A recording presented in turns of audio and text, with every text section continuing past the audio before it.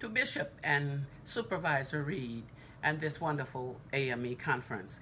What has First AME Church done with all of her time, her talent, and her treasures?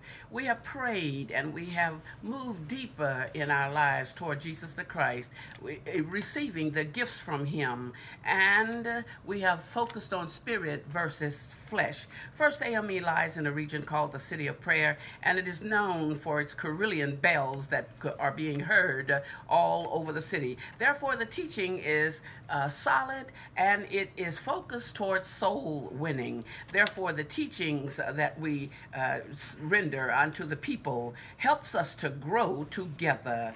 Uh, unique to this church are revivals, 18-year-old PCTV television show, and the blessings of technology and family support outreach.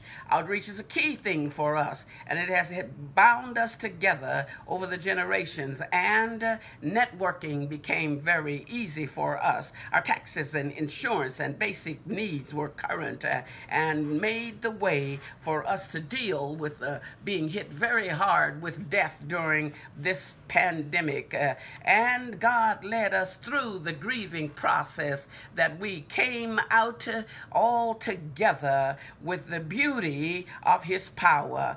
Oh, what have we done with our time? A fire tried to stop us, but it couldn't stop us.